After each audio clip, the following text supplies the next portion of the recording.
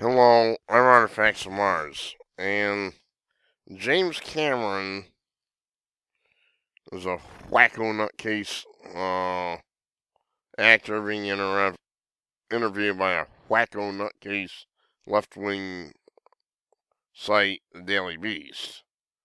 Now, most of this is about his acting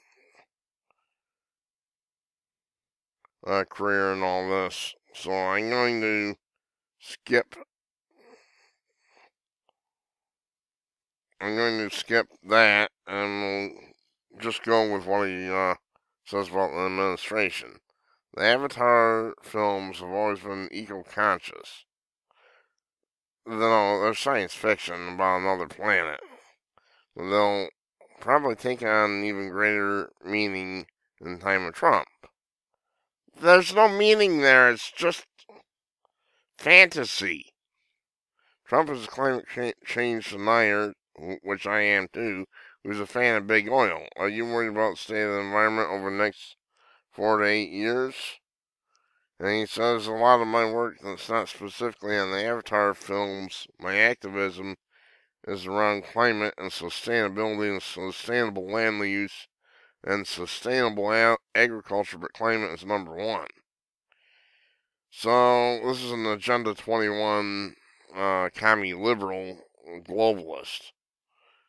Years ago, we sort of spotted the iceberg ahead of us and were called out order to turn, and we've been slowly, slowly, slowly trying to turn this big ass ship around, not hit the iceberg.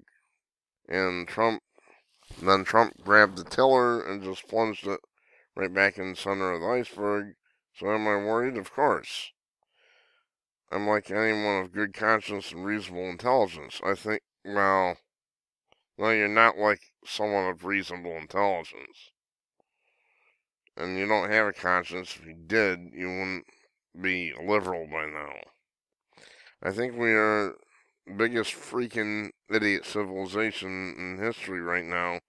They'll probably be talking about us 4,000 from years from now scratching their heads, like they talk about Atlantis.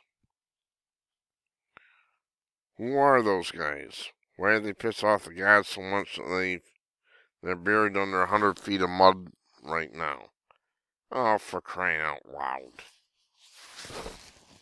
One of the first executive orders he signed was to greenlight the Dakota Accessing Keystone Pipelines. Oh, I know. And by the way, he nominated the guy to run the EPA, Scott Pruitt, who has eight lawsuits against that EPA and who refuses to recuse himself from these lawsuits. It's basically an upside down world right now, and the kind of dialogue coming out of these guys sounds like George Orwell. Alternative facts? There's no such thing as an alternate fact. These people are insane. No, Mr. Cameron, you're insane. But I'm keeping my head down doing stuff that I thought I would be doing if hologram Hillary was elected.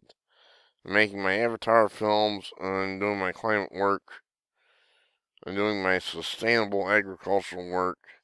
You can only do what you can do. Unbelievable. Well, Mr. Cameron, sir, uh, you're a disgrace, along with most of your Hollywood buddies. You're a disgrace to this country. I don't care what your acting credits are. You have one vote like everyone else. When you use your position to try to install leftist politics into this country. That's what and you are supporting, by the way, extortion because that's what this whole climate thing is all about.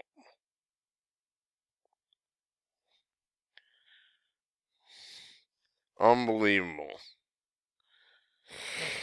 Mr. Cameron, sir, I would not pay two cents to go to one of your movies. Unbelievable.